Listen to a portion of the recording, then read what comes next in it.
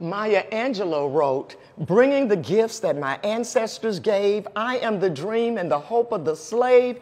I rise, I rise, I rise. And so many of us were able to rise because of inspirational words like that.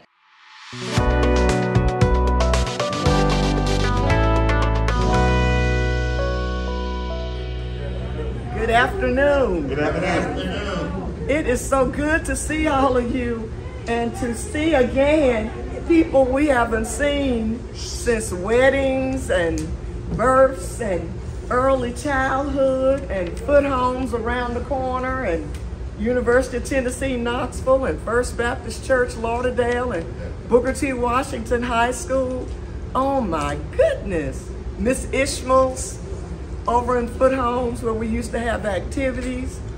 Thank you, thank you, thank you. Ingrid, Wayne, you all stand up. Thank you so much for all that you've done. Wave your hand in the air. Wave like you don't care.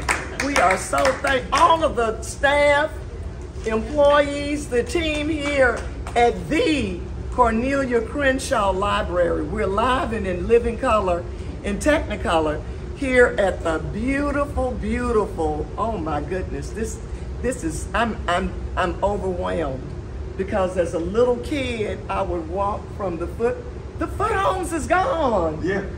Oh my good what is it called now? South City. Foote Park and South City. South City. South City. The whole area is South City, but Foote Homes is called Foote Park and South City. Well, welcome to Foote Homes in South City. Foote Park. Foote Park. My our apartment was right around the corner, and I could just walk up here at any time and enjoy myself in the library.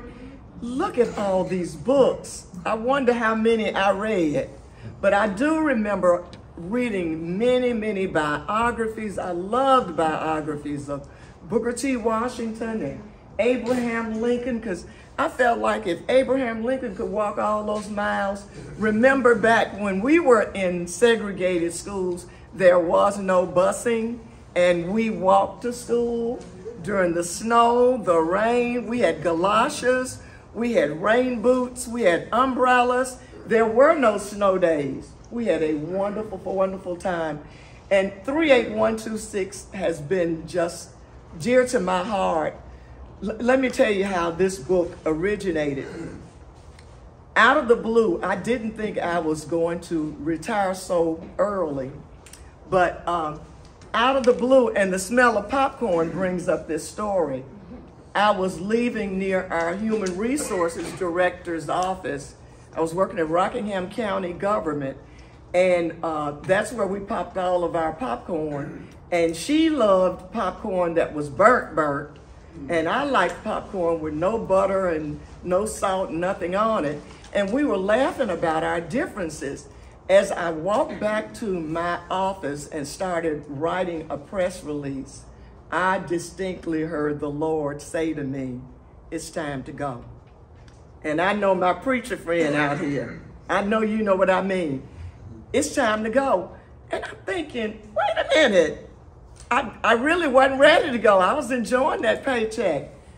And um, I'm scared to uh, argue with God. And I sat down right then, changed the press release, and wrote my resignation letter to my bosses. And they thought I was teasing or joking. And they thought I was going to leave at the end of the fiscal year, which would have been um, the end of June, June 30th, 2022. And I told them no. Then they said, Oh, you're going to leave December 31st, 2021. I said, No, I'm leaving now. And so I retired, I went home, and it was very different because I am a busy, busy person who is always on roller skates. And I was sitting there one day thinking, I, I mean, I can't deal with this. Uh, and, and the soap operas are fine. Hey, they helped to pay my paycheck when I worked in television. But I could not see myself watching soap operas all day and uh, game shows.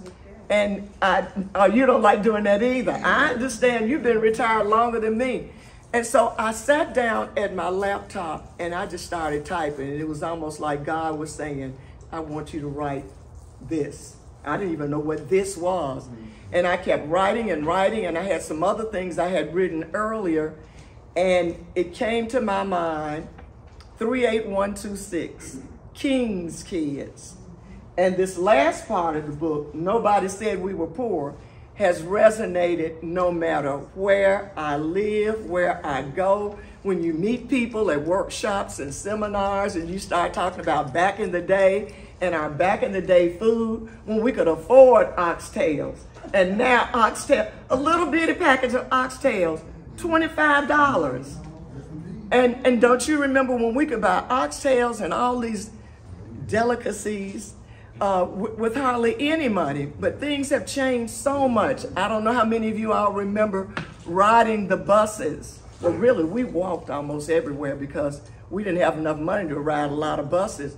But we walked everywhere, the number two walker, and when we rode the bus, no, no, number two walker was me and Dear, me and Dear walking down. We walked from here to Beale Street every day to my uncle's office because we didn't have daycare. My mama was working. You all remember uh, Goldsmiths? Uh -huh. My mom worked at Goldsmiths, but she worked in the Cavalier. It was a restaurant. Now, how many of you all were able to go to the Cavalier? See what I'm saying?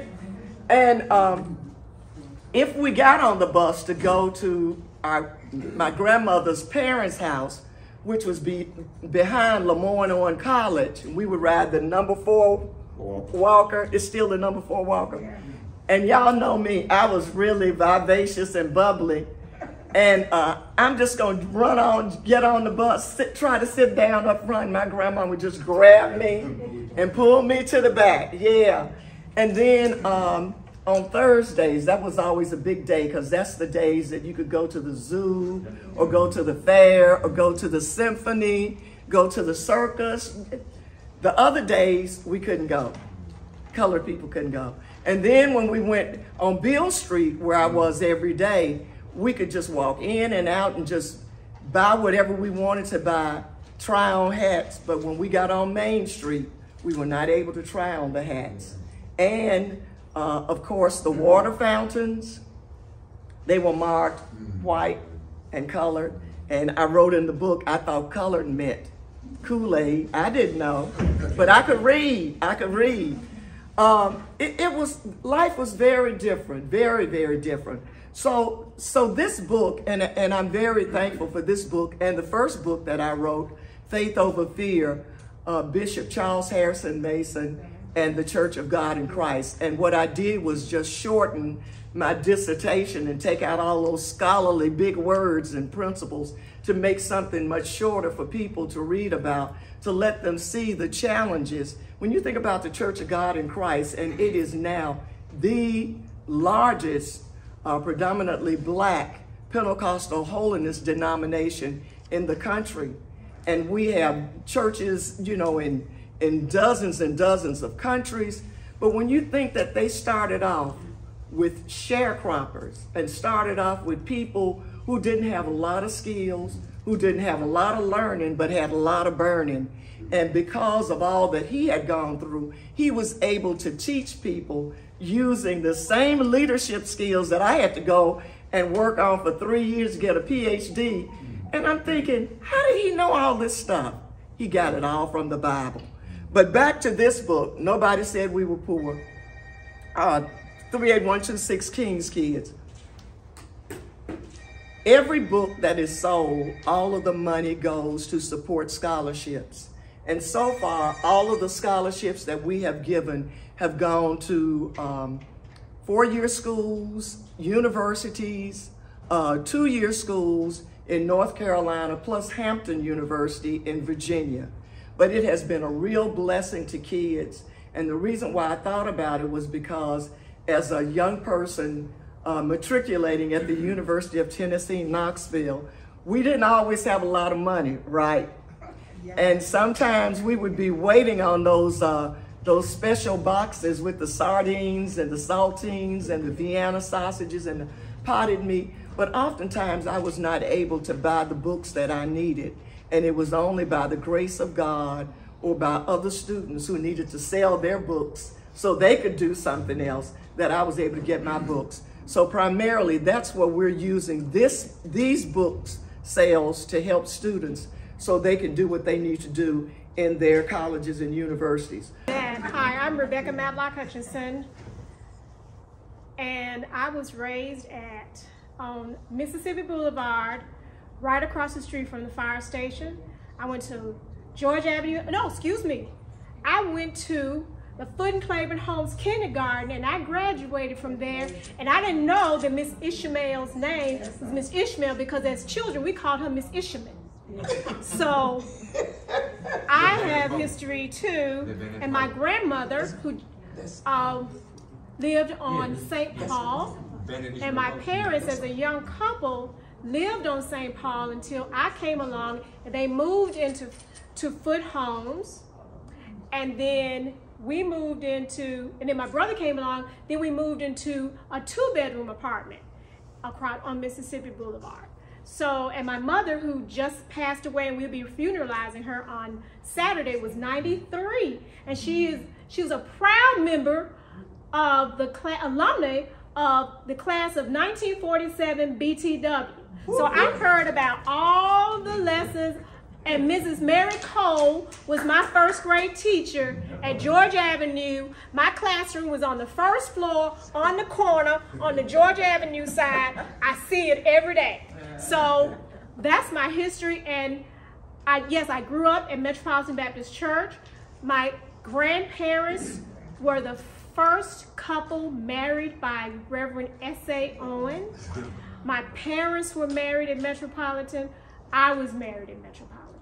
Mm-hmm. We grew up there and my history has been, I guess I feel like I have come full circle because I did not know that of course I would be married to a pastor of First Baptist Church Lauderdale mm-hmm. right in front of the elementary school that I went to and then that I would found a community development corporation called SCORE which serves this very neighborhood and SCORE stands for South City a community of opportunity, revitalization, and empowerment.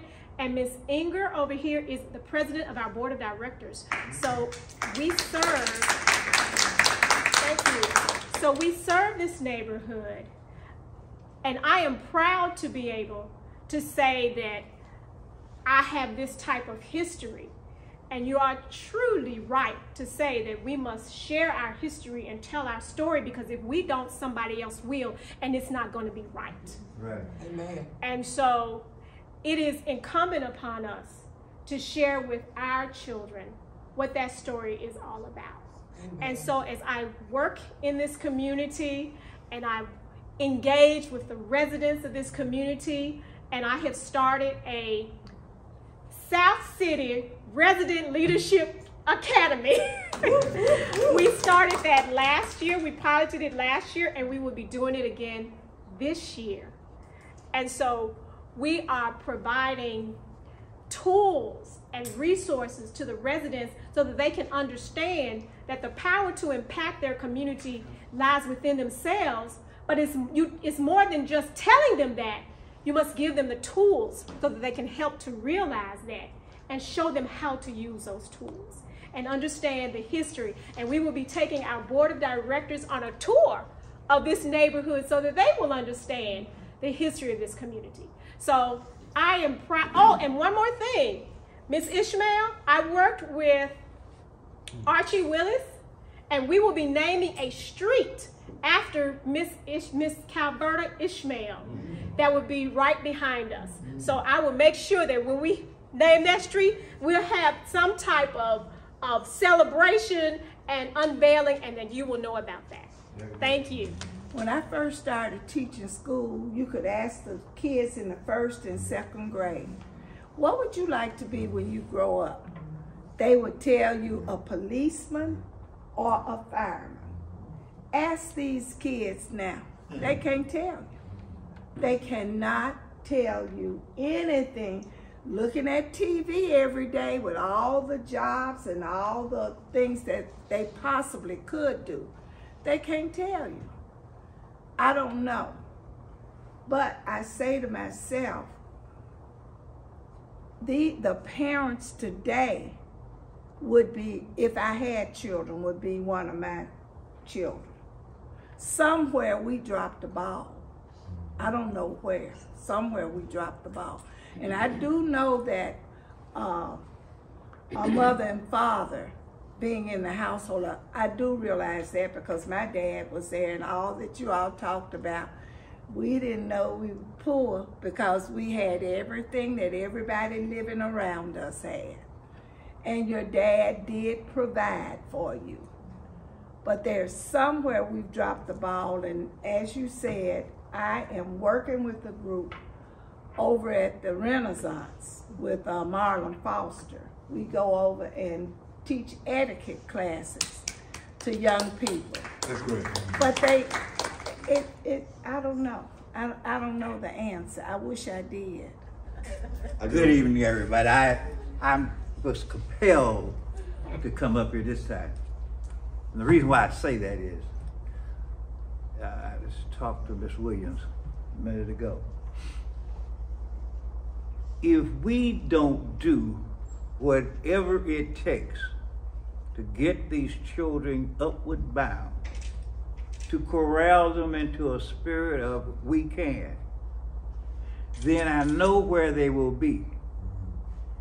Where I have made my living for the last 30 years. I'm a bail bondsman. I get folk out of jail. The products that comes out of these schools and out of these homes and out of these neighborhoods, mm. if we don't do something with them, the folks downtown will, and I'll continue to make a good living. Mm. Now that's pitiful. Making a living mm. off of other people's mistakes. That's bad. We tried several years ago, we used to mentor kids over Booker T. Washington High School. Why? That was my school. Why? Because we had some guys at the time who were very interested. Reverend Melvin Charles Smith came out of the 3 at 106, or, or, uh, or uh, 2 1, I mean 26. Herbert Davenport came out a little bit further. He down a lot of their sub. Uh, 106. 106. Okay? I came out of 106. I came off of Latham Street. Now, all you talk about the housing projects, to me, that was uptown living. Step up. Because I've lived in a three room shack on Latham Street with a toilet on the back porch with a flusher on top of the, the building. Now, I was uptown because the folks down the street, they was outside on the ground. So when I found out that I was disadvantaged and poor, I was a sophomore at LeMoyne College. I never realized that. Because like you said, we, we were happy with what we had. We were trained to accept what we have and make the best of it. And this was not the end. We could go further. That was pounded in our heads day after day. Boy, don't you do that. Girl, don't you do that. Keep them dresses down. Boys, keep your pants up. We were taught that here. Now they do what they want to do without anyone saying anything to us. So I'm encouraging all of you, find something that you can do to help these children to be better. Because if you don't, not only will myself make a little more money, but I got five boys and they can take over. I'm in Grove Church, and um, I've been here 17 years. Uh, in library system 26. Uh, prior to that, teaching, parent educator. So I've been around. And um, when I first was assigned to this library, I'm gonna tell you, I wasn't happy. I wasn't happy a little bit. Um, my cousin Jane and my sister drove to this library, and the first thing they said, Who did you piss off? Because it was dilapidated, it hadn't changed in I don't know how many years. We had no grass. I couldn't understand why it was so neglected. And then I realized we need some advocacy here. We need some change here. And I started learning about the history through the residents. And they talked about all the greatness. And I kept saying, well, it can be great again. So we started doing a lot of programs. The staff and I tried really hard going out in the neighborhood, working with the kids. We started a program called Real Men Read. And 14 years of that program, we read to almost 14,000 preschoolers. And it was African American men giving their time one day a week at a child care center or elementary, reading stories, talking about the joy of reading, not trying to take a test, but reading. And that made a difference in a lot of kids. They have to see it in action. We can talk about it as much as we want, but they got to see it. We work very hard to get kids in, but we need you. We need you to be supportive in every way mentoring, financial, giving your time. Ms. Draper just said she would come and volunteer to do an etiquette segment for our first father and daughter tea. And the reason why we're doing father and daughter instead of mother and daughter, we have done mother and daughter in the past, but I'm a daddy's girl. And I know my dad taught me a lot of things. He was a sharecropper. He didn't go to school. You were fortunate. Y'all went to high school. My father couldn't go after third grade because he had to work the farm. And then my mother graduated from uh, Manassas. And I heard all the greatness of Manassas. So that's what I know. I, don't, I know very little about BTW because only one of my uncles, my uncle Carl McKinney, he went to BTW and he became a clinical psychologist. And he worked in the juvenile justice system. And what he did was assess a lot of kids who he said were brilliant, intelligent. But he said they didn't have enough guidance, enough love. And he said the only way things are going to change, we have to invest in our kids. We talk about it. We want it. It's just not happening. Mm-hmm. We had a roundtable luncheon last week. Larshay, hold your hand up. He's my teen librarian at Gaston Park. I manage two locations this one as well. And Larshay was trying to get the pulse of the people because we have kids who are dying. Mm-hmm. We know two kids who died this, you know, a couple weeks ago mm-hmm. in January. Something has to change. We have programs here at both locations that you can participate in. We have brochures of becoming a financial member. It's ways of help. And Mable Able and I, we talk a lot. I remember one time we talked, it was like two hours, and I'm like, I'm at work. You know. but we're on the same track, we're on the same mindset. So all I'm saying, we can make a difference if we want to. Mm-hmm. You want to volunteer here, you want to do anything at either of the locations that I have, you're more than welcome. And you can, uh, I have my business card, and you just call or email me. I'll be, I'll be happy to respond. And maybe, and I'm working with Rebecca. And we have done some great projects, Rebecca and I. Um, our biggest thing uh, the last two years because of COVID, we have been working with senior citizens. And last Christmas, we provided over 505 Christmas stockings to seniors to reduce social is- isolation and also make sure they know that they're cared about and loved. So there's programs. We just don't get a lot of news. We don't get a lot of information out there to people know what we're doing. But we're doing stuff. It's just it's just kind of like a secret. We appreciate all of your support and your support of Amen Communications, Inc., a 501c3 nonprofit. And what we do is publish books in order to take the proceeds and provide monies and scholarships for needy college students, either in two year programs, four year programs, universities.